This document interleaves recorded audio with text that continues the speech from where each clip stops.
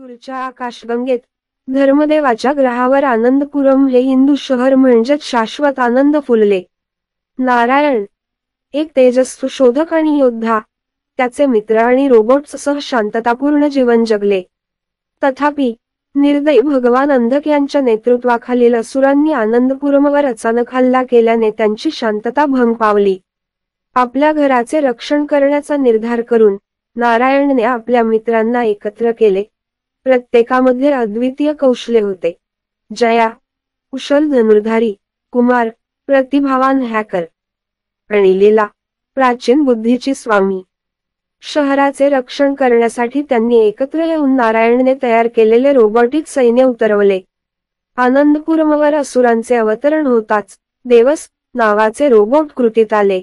पराक्रमी रोबोट विष्णू प्रधान यांच्या नेतृत्वाखाली लेझर अग्नी आणि वैश्विक ऊर्जेच्या नेत्रदीपक प्रदर्शनात ते असुरांशी भिडले. नारायण आणि त्याचे मित्र प्राचीन मंत्र आणि प्रगत तंत्रज्ञानाच्या सामर्थ्याचा उपयोग करून त्यांच्या रोबोट्सच्या बरोबरीने पराक्रमाने लढले. आनंदपुरममध्ये टेम्पल ऑफ ब्लिसच्या उंच शिखरांपासून ते कॉस्मिक पार्कच्या खगोलीय उद्यानांपर्यंत युद्ध भडकले. युद्धाचा कळस होताच नारायणाचा सामना भगवान अंधकाशी झाला. लौकिक ऊर्जेच्या स्फोटाने नारायणने अंतिम आघात केला.